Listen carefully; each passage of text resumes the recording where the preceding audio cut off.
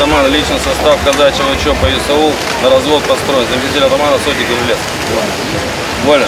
Казачьи патрули наряду с полицейскими будут контролировать порядок в местах массового пребывания людей и традиционного отдыха граждан. Также разработаны дополнительные маршруты – набережная, пляжи, парки и скверы. Общая протяженность маршрутов выше 5 километров. Задача у нас одна – это сохранность имущества и, естественно, это охрана общественного порядка.